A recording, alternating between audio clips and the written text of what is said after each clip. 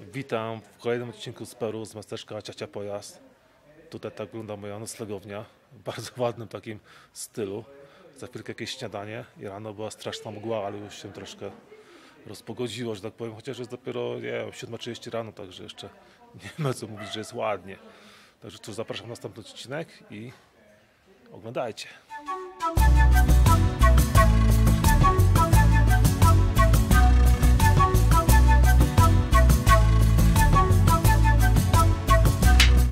Killavasi, tak właśnie wygląda mój bed and breakfast z zewnątrz. To jest ulica Boliwia i miasteczko Ciacia Pojazd. A z mojej wycieczki chyba nic nie wyjdzie, ponieważ dowiedziałem się, że to miejsce Kualap jest chyba zamknięte od półtora roku, ponieważ na wskutek deszczu zawaliły się tam mury. No, ciekawe co z tego wyjdzie. Operator wycieczki także nie odpowiada, także nie wiem czy to przypadkiem nie było jakieś takie fejkowe konto. Przekonamy się. Przekonamy się, co z tego wyjdzie. Obawiam się, że nic. Okazuje się, że tuk-tuków nie ma, ponieważ są zakazane ze względu na zbyt wielki chaos, który tutaj sprowadziły. Tak się dowiedziałem, poznałem jednego Niemca, który mieszka w Ekwadorze i teraz przyjechał na pół roku do Peru i sobie podróżuje. I to właśnie od niego dowiedziałem się kilku ciekawych informacji, między innymi o Kualap i o tych tuk-tukach, które są tutaj zabronione. Tymczasem samo miasto, jak widzicie, ma swój klimat. Może troszkę podobny do Cusco, ale jednak mimo wszystko to jest całkiem inne miasteczko. Skrzyżowanie robi wrażenie. A tutaj krowa czy byk.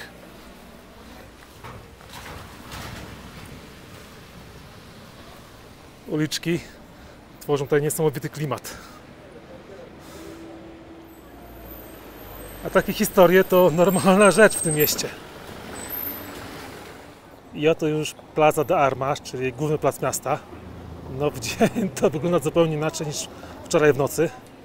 Tak, tak jak mówiłem, właśnie tam wzgórza z domkami.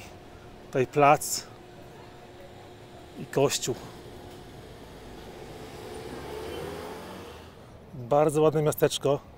Takie ciche i spokojne. Właśnie ze względu chyba na brak mototaksji, na brak tuk-tuków. I oczywiście tutaj wielki plac, Plaza de Armas. A na horyzoncie góry skąpane w chmurach. Prawie ich nie widać. Gdzieś tam właśnie. No cóż, taka pogoda teraz jest, że wszystko jest zachmurzone. I już powoli robi się gorąco, ma być 20 stopni, także temperatura całkiem przyjemna i znośna. Ale póki co jeszcze tutaj panorama na Plaza de Armas. Przepięknie te chmury. Te chmury robią wrażenie. Hurra! Właśnie udało mi się załatwić trzy wycieczki za marne 345 soli, także jestem uratowany. I za chwilkę będę jechał na największy wodospad na świecie, Gokta, który ma 771 metrów. A został on odkryty dopiero jakieś 20 lat temu, także niesamowita sprawa. Jedźcie ze mną. Ale oczywiście zabrakło mi jednego dnia, żeby pojechać no, tutaj na Wielki Kanion, na punkty widokowe. To jest tylko 20 minut stąd niestety, ale to będzie zawsze jakieś tam przyczynka, żeby wrócić tutaj jeszcze raz. Dzisiaj Gokta, jutro Karakia i Rewasz, a pojutrze Kwarap. Tylko z zewnątrz, ale zawsze to coś. Straszne chmury tam na horyzoncie, ale mimo wszystko się troszkę rozpogadza. Słońce grzeje tutaj już ostro, także myślę, że będzie dobry dzień.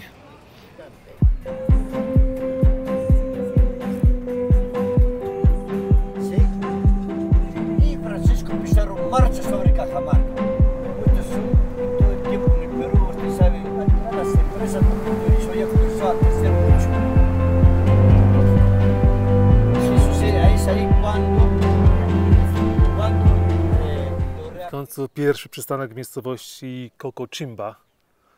Zaczęło padać. Właśnie tutaj jedliśmy teraz śniadanie, lunch. I dostałem jakiś tam pojo z ryżem, czyli kurczaka. Na horyzoncie jeden z wodospadów. A cała wioska taka cicha i spokojna. Pośrodku gór. Droga przez mękę, ponieważ droga jest dopiero robiona, jest poszerzana. Zaczęło kropić. Nieciekawie jest. Gdyby teraz tylko pogoda była troszkę lepsza, to kurczę, niesamowicie. Są takie przejaśnienia, ale teraz pada, ale teraz pada mimo wszystko. Przepiękna panorama wokoło ze środka wioski Kokochimba.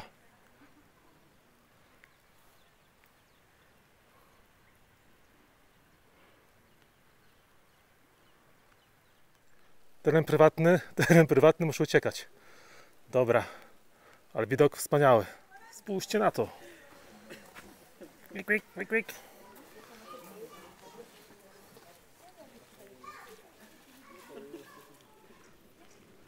Piękny widok, piękny, nawet w deszczu, nawet w deszczu. Co tam się dzieje teraz? Wow. Buenos dias. Widoki takie, że hej. Panoramika, fotografia.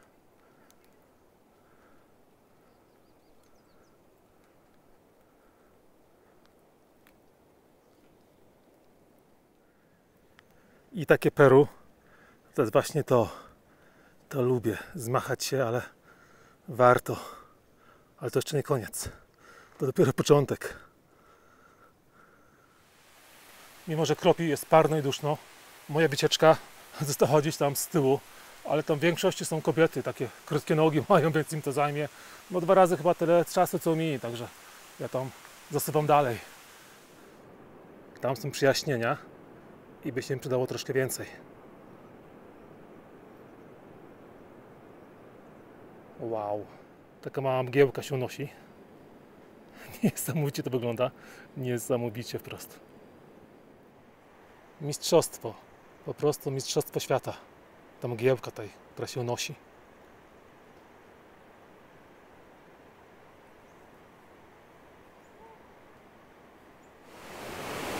Lekko nie jest, lekko nie jest, taki mały wiszący most. Oj, huśta się. A to już właśnie pewnie rzeka z wodospadu. Nadzieja jest matką głupich. To jeszcze nie to. Co to za widok? Co to za widok teraz tutaj?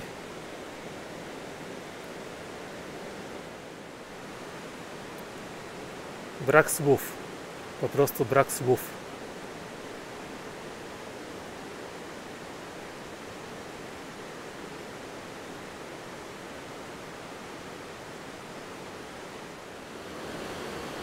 Zimno, mokro i wilgotno. Ale co z tego? Co z tego? Skoro jest taki widoczek teraz.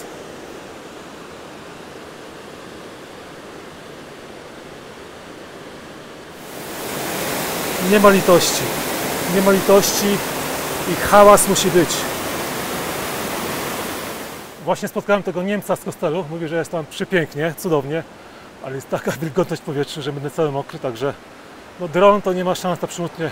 Absolutnie, ja, ja. Absolutnie, ponieważ wszystko będzie mokre, zamoknie, zaparuje i, i skończy tragicznie, nie? Zaczyna się, zaczyna się. Już jest sina od skroplonej wody. Skroplona woda z wodospadu. Sino jest, jest sino i leci na mnie woda z drzew. Krople wody. Ale potęga.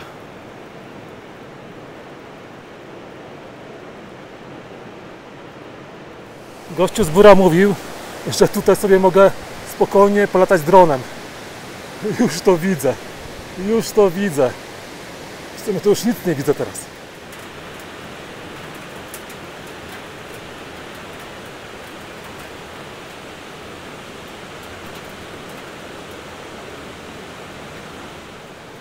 Ta ścieżka jeszcze tam prowadzi trochę dalej, ale po pierwsze przepływa przez nią rwący strumień, a po drugie Mam pół minuty i człowiek jest cały mokry.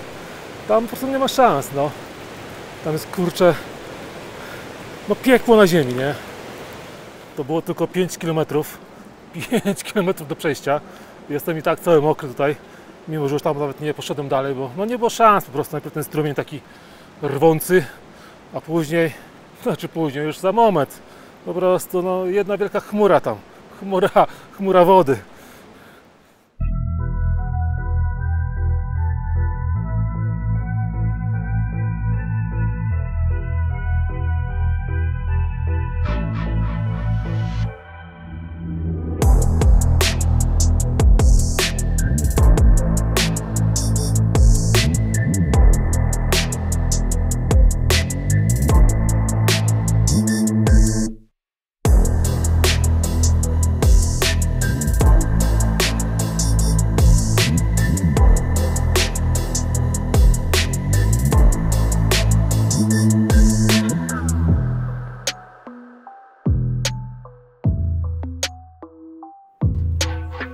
Niestety droga powrotna to katorga. To jest taka katorga. Obiecałem sobie, że już nigdy więcej nie będę robił takich trekkingów, ale kłamałem. I chyba z tego miejsca zakończę. I chyba z tego miejsca zakończę ten odcinek. Jest ciężko, jest ciężko, jeszcze kawałek do przejścia. Będziemy wracać. No, dopiero, dopiero jak grupa przyjdzie? Il- ile im to zajmie, ile im to zajmie, nie mam pojęcia. Także cóż, Gokta, jeden z największych wodospadów na świecie. Nie byliście, to zapraszam do Peru. A kogo my tutaj mamy? Lamy.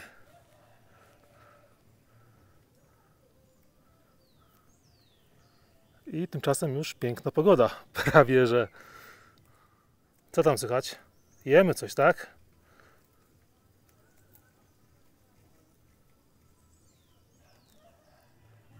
I taki klimat wszędzie.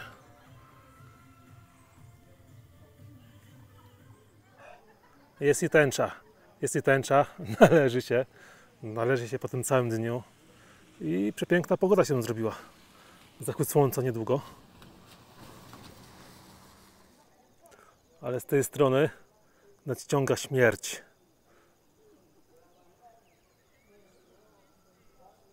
A teraz już cała tęcza.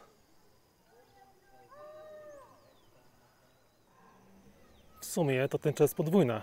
To jest druga taka mała z tyłu, ale bardzo słabo widać.